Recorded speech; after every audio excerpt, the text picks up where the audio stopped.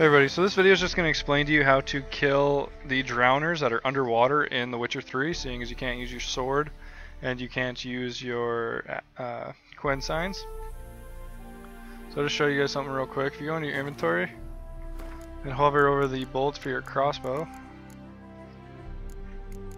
you see that when you're in water they do plus 400 silver damage, and uh, under underwater the only thing you're able to use is your crossbow equip it.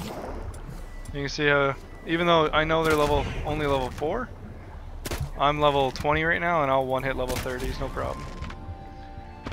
So, I hope this helped. Like, comment, subscribe. If you have any questions, comment, I'll get back to you as soon as I can.